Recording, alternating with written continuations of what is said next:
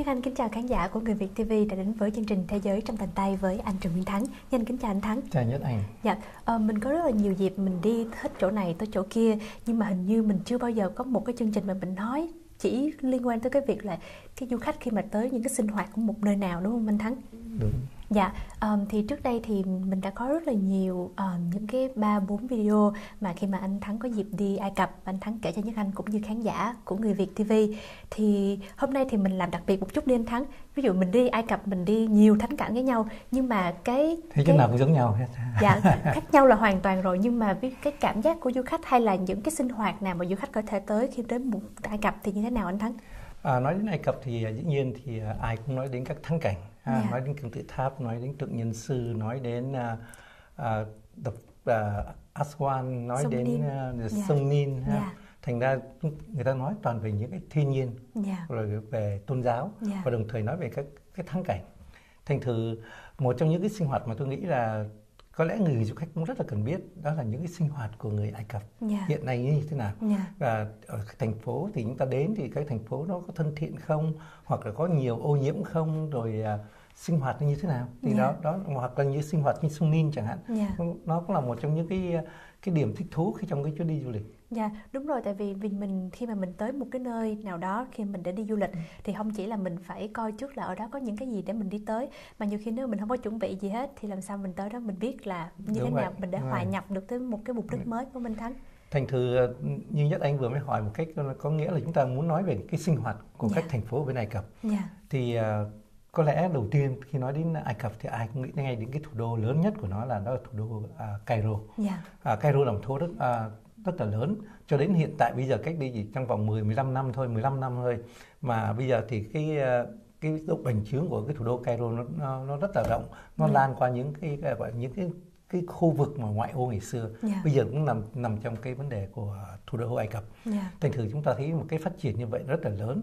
Với một cái số lượng à, người dân ở Cairo đó thì theo như cái cách mà người ta diễn tả thì tôi hiểu người dân không á, sinh hoạt ở Cairo có thể là 20 triệu dân Dạ. nó 20 triệu dân trong một thành phố rất là lớn Dạ. thành thử chúng ta có thể đọc qua các ờ, dữ liệu của internet của wifi của những cái ờ, website thế tuy nhiên thì ờ, những cái đó chỉ là một cách ờ, tương đối thôi còn Dạ. cái thực sự người dân họ đổ dồn vào trong cái thủ đô họ sống đó nó có thể nhiều đến mức độ là cái chỉ có những người ờ, local ở đó họ mới cảm nhận được hoặc là những người ờ, hướng dẫn địa phương á, họ cho Dạ. mình biết là cái số lượng dân được nhiều bao nhiêu có thể từ 20 tới 24 triệu nó Dạ. thay đổi mỗi một ngày tại vì cái số lượng người ra đi vào đó thì nó khác thành thử nói đến Cairo đó thì à, ngoài những cái cái gọi là những thắng cảnh tôn giáo thắng cảnh lịch sử của nó thì phải nói đến một cái vấn đề mà sinh hoạt hàng ngày của người dân Ai Cập tại thủ đô Cairo họ bị ô nhiễm là nhiều cái lắm Dạ. thứ nhất là những cái à,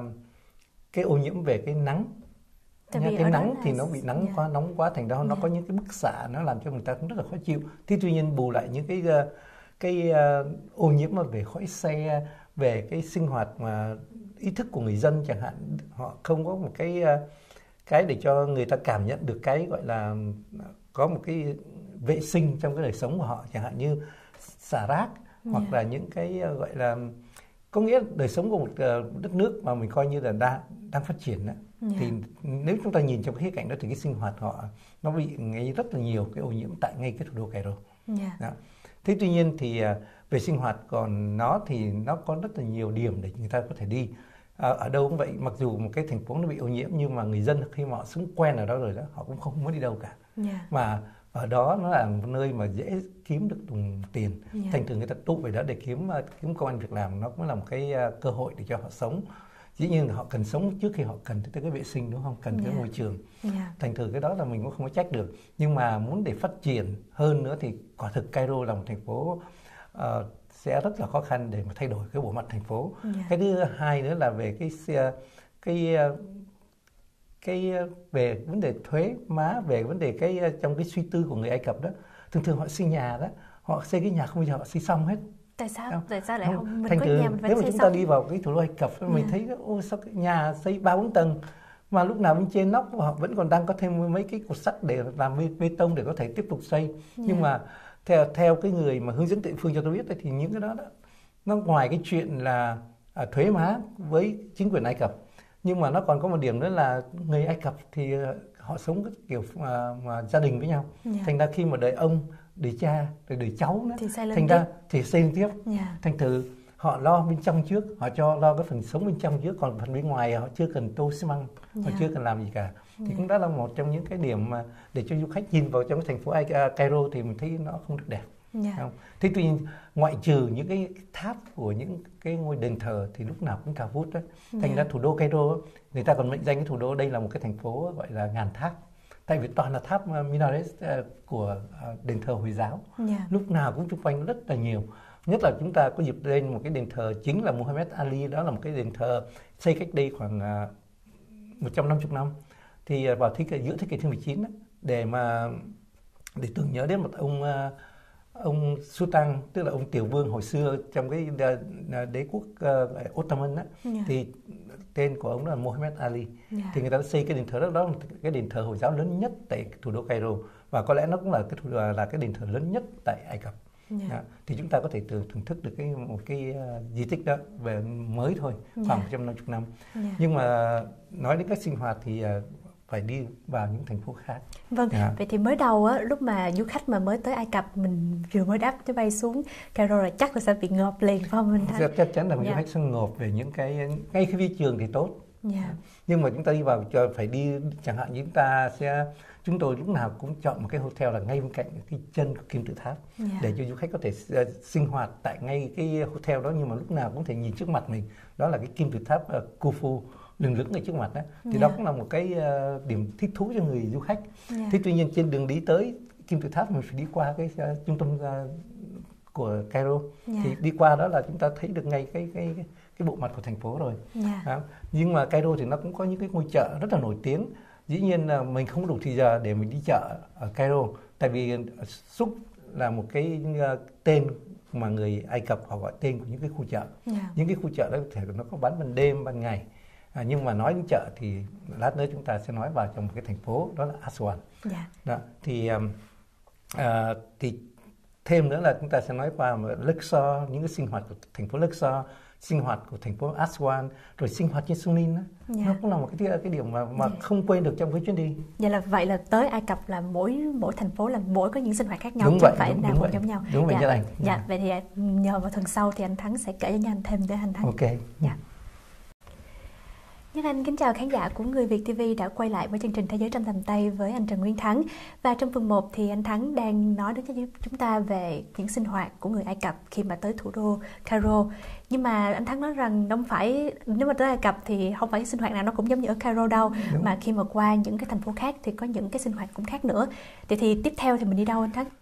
Tôi nói đến một cái sinh hoạt buôn bán rất là lạ Dạ. mà có lẽ trong tất cả các chuyến đi chơi đi khắp nơi trên thế giới của tôi đó tôi chưa thấy một cái hình ảnh nào như vậy Dạ. là khi là chúng ta đi trên sông Nin Dạ. tại vì sông Nin là một đoạn sông rất là dài ờ, suốt từ nam bắc của Ai Cập Dạ. thành ra khi chúng ta đi một cái cruise river ở trên đó đó Dạ. thì đến một cái đoạn đường là khi chúng ta gần đến cái cái khu vực của thành phố Aswan với Luxor đó thì quý vị đang ngồi trên cái cruise ship đúng không đùng cái mình lên buổi trưa buổi chiều mình lên trên đó để mình hóng mát. Tại vì thường nó có những cái buổi tea time đó. Dạ. nó là kiểu là ban giờ ban chiều à, ba bốn giờ là mình lên trên đó để mình à, tránh cái nóng mà. Dạ. mình cũng ngồi thưởng thức cái hoàng hôn bắt đầu là về cái cái nắng chiều xuống rồi. Dạ. thì có những cái chiếc ghe nhỏ ghe máy có ghe nhỏ ghe chèo xuống. Họ chèo chạy sát tới cái thuyền mà quý vị có thể nhìn qua cái video clip.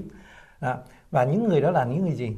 Họ đi lúc nào họ đi cũng khoảng cả hai người. Một người chèo một người à, lúc nào cũng họ cũng gói những cái cái món đồ họ muốn bán cho mình đó họ gói dưỡng họ hú lên họ hét lên họ gọi du khách ra Dạ. Ồ, thì khi mình ra đứng ở lan can thuyền thì mình nhìn xuống ồ mình thấy à, nguyên một hạ, cái thuyền với hai ba người dưới đó Dạ. là họ, họ họ không biết mình là ai cả nhưng mà họ cứ cầm cái gói họ ném Mà- ném lên trên thuyền khoang thuyền Mà cái gói đó là gói gì anh Thắng? Trong đó là những à, vật dụng như quần áo như là những cái à, khăn bàn Dạ. và những cái mà đồ lưu niệm. Đó. Dạ. nhưng mà dĩ nhiên là quần áo cày thuộc về vải vóc nhiều hơn. Dạ. thành ra họ ném đi họ ném lên cái khoang thuyền như mình đó. Họ nói đó mày coi có thích không? Mày thích đó. Thì ví dụ nó nói bao nhiêu? Ví dụ như nói 65 đồng Dạ. 65 đô la. Họ, họ nói ghê lắm. Nhưng mà khi mà mình xem đó mình thích đó, mình trả giá mình phải trả giá với họ nhưng mà nhiều khi như tôi tôi trả giá 30 đô la không Dạ. mình tưởng thế là mình à, mình à, không có hớ rồi gì Dạ.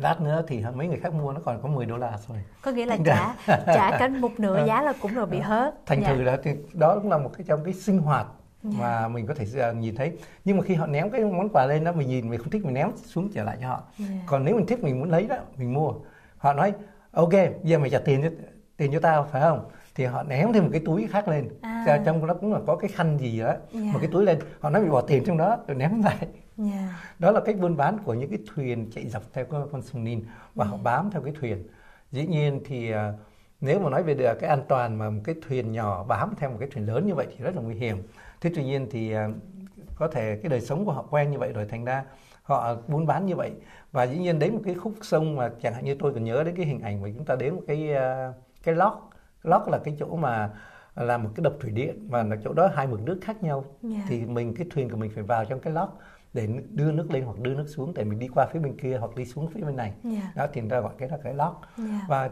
những cái thuyền như vậy họ bám theo à, những con thuyền lớn và quý vị có thể nhìn qua cái hình ảnh của video cái clip mà tôi có dịp tôi quay tại vì rất là thích thú mà mình không có tưởng tượng ra là một cái sinh hoạt nó lạ trên cái sông Nin ngày xưa đó tôi đã từng đến à, Ai Cập nhiều lần chứ không phải không nhưng mà ngày xưa yeah. cái tình trạng như vậy nó ít yeah. nó không có như bây giờ bây giờ thì là họ túa ra để mà họ có có gì buôn bán với du khách ở trên thuyền vậy có nghĩa là du khách càng ngày càng tới nhiều hơn và cái nhu cầu mà để có thể. sống của người ta để người ta cần phải kiếm tiền thì cái Đúng nhu cầu đó cũng đó là cái thành phố yeah. mà tôi vừa nói là thành phố uh, Etna yeah. Etna và Etna nó nằm vào gần về cái khu, vực của thành phố Aswan rồi thành với Luxor rồi à, thành thử mình thấy càng đi về mình à, miền quê một chút xíu thì đời sống nó có vẻ dịu xuống chứ yeah. nó dạ. không có những cái uh, pollution giống như ở trên Cairo nữa yeah. Dạ. và đời sống của nó có cái nhịp đập của cái đời sống nó cảm thấy rõ ràng nó nó giảm hẳn xuống yeah. Dạ. chẳng hạn như uh, kể thêm với nhất anh là uh, mình đến Luxor chẳng hạn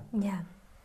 ở Luxor thì ai cũng nói đến đền đài nói đến đền Karnak nói đến đền Luxor mà chúng ta có dịp nói trong các kỳ trước yeah. nhưng mà thực sự ban đêm của Luxor nó có những cái thú của nó chúng ta xuống chúng ta có thể đón một cái xe ngựa hai người hay ba người lên một cái xe ngựa và họ lóc có cái con ngựa giống như kiểu xe thổ mộ ngày xưa ở Việt Nam yeah. đó họ chở mình đi một vòng của thành phố Luxor yeah. đó.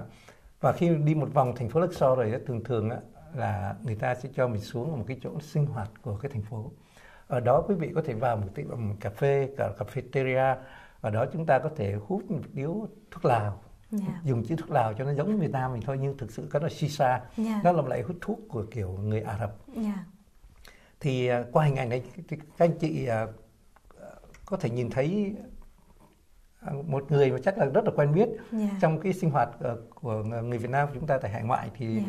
đang hút thuốc mà phi pha điếu khác theo cái, cái lối kiểu cái kiểu mà à, của người Ai Cập nó không có giống như là thuốc lào lắm hơn thắng ha nó nhìn à, nó nó cái kiểu nó có giống. một cái loại yeah. thuốc nó như một viên hình hình vuông dạ. rồi, rồi dưới có lửa người ta để cái viên viên đó lên trên ừ. hoặc là bên dưới đó. Dạ. khi người ta hút cái sức nóng nó, nó đi qua cái viên đó thì nó trở thành giống như thuốc viên thuốc lào dạ. thuốc lào của mình là phải nhét cái cái thuốc lên trên cái ống điếu đúng không dạ. và dĩ nhiên nó đi qua một cái hệ thống bên dưới cũng là cái đồ lọc nước dạ. thành nó cũng kêu ro ro như vậy yeah. Theo mình hút thuốc lào là phải kêu ro ro mới là hút thuốc lào đúng không? Yeah. Thành thử đó cũng là một trong những cách sinh hoạt và đồng thời chúng ta có thể uống cái ly cà phê. Cái cà phê của người Ả Rập đó nói chung hay là người Ai Cập đó thì lúc nào nó cũng còn cái cấn cả. Yeah. Dạ. Thành ra họ pha cà phê họ có cấn trong đó và đối với họ thì họ uống cả cấn. Họ cũng cảm thấy còn mình không thích như vậy thì mình phải pha yeah, dạ, ly cà phê cho mình đợi. Yeah. Dạ. lúc thì nó lắng cái cấn xuống mình uống bên trên thôi. Yeah. Cũng rất là thơm là cà phê Ả Rập nó cũng có cái cái nét đặc biệt riêng của nó. Yeah. Thì đó là một cái hình ảnh mà à, mình đi một vòng xe ngựa đi thăm thành phố, đi thăm những cái thắng cảnh mà ban đêm nó lên đèn thì nó sẽ khác những thắng, thắng cảnh mà chúng ta nhìn buổi chiều hoặc yeah. buổi sáng yeah. thì đó cũng là một cái thú của cái sinh hoạt tại thành phố Luxor. Yeah. À.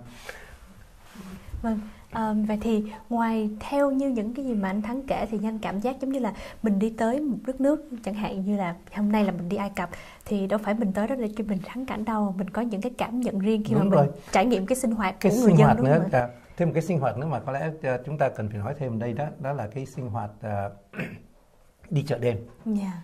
tại Aswan là một thành phố cái chợ đêm nó vô cùng uh, gọi là đông đúc mà phức tạp vâng. mà nó rất nhiều hàng hóa yeah. Dạ. mà quý vị có thể nhìn qua một cái uh, hình ảnh mà chúng tôi uh, quay về ở đó chúng ta có thể luồn lách đi trong đó và người ta bán hàng mình không hiểu với cái hàng hóa như vậy cái số lượng nào là họ bán được một ngày như thế nào tại vì cái chợ nó dài khoảng 2.5 cây số yeah. mà mình cứ tưởng tượng đi hai cái số rưỡi mà toàn hàng hóa như vậy làm sao mình đi hết được thành ra ừ. mình chỉ đi một đoạn để chúng ta nhìn cái sinh hoạt của người Ai Cập cách buôn bán và đồng thời trong những cái khu chợ bán quần áo bán vải vóc bán đồ lưu niệm chúng ta có thể hình dung được những cái ví dụ như họ có lối muối cá nó cũng lạ lắm cái muối cá Cả, à, yeah. Dạ. một con cá rất là to và họ yeah. Dạ. bỏ trong hồ họ nén lại với nhau và họ muối con cá rất là to yeah. Dạ. à, thì qua hình ảnh tôi cũng quay được cái chút cái video clip về để cho quý thính giả có thể xem cái cách sống của người Ai Cập tại một cái thành phố xa với Cairo đó là Aswan yeah. à, thì đó là những cái điểm mà chúng ta có thể thưởng thức tại à, Ai Cập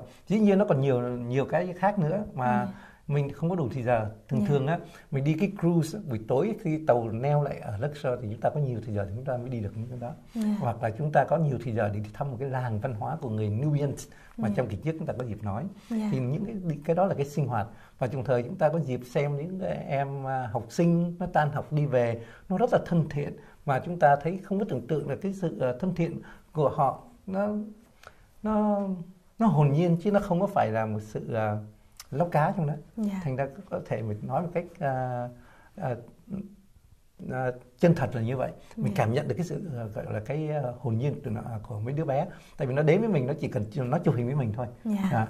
Dạ, vậy thì ví dụ như mình đi đi du lịch như mình sáng mình đi uh, đi coi những cái thắng cảnh này nọ với bắt đầu buổi tối hay buổi chiều mình mình mình nhập vô những cái sinh hoạt đời sống của những người bản địa thì cái đó là một trong những cái thú vui khi mà mình một, một trong một trong những cái chúng ta cần biết về một cái, cái xã hội mà nhất thì trong cái hội đó là đối với uh, bên Hoa Kỳ chúng ta đang có rất là nhiều cái uh, cái thành kiến cái suy nghĩ khác về cái các đất nước hồi giáo yeah. Dạ. tôi vẫn nghĩ rằng nếu có cơ hội chúng ta đi qua những cái đất nước hồi giáo và dĩ nhiên thì ở đâu đối với cá nhân tôi đó thì ở đâu cũng có những cái xấu nhưng mà ừ. đồng thời họ nó cũng có những cái tốt yeah. Dạ. và chúng ta dĩ nhiên chúng ta biết những cái xấu chúng ta tránh cái thôi còn yeah. Dạ. cái cái tốt thì chúng ta cũng phải uh, cho những cái cảm nhận của mình để mà mình có thể hòa đồng được và nhờ những cái đó thì đôi khi những cái điểm như vậy tôi nghĩ nó trở thành cái sự khoan dung trong cái chính cái suy nghĩ của mình. Dạ, nó làm thêm phong phú thêm cái đời sống tinh thần đúng của vậy, mình nữa. Đúng dạ. vậy. Dạ. dạ. Cảm ơn Thắng rất là nhiều. Và có dịp thì chúng ta sẽ nói về vấn đề tôn giáo ở bên đó chẳng hạn. Dạ. Nó, nó tuy là cái đánh về một cái vấn đề chủ đề là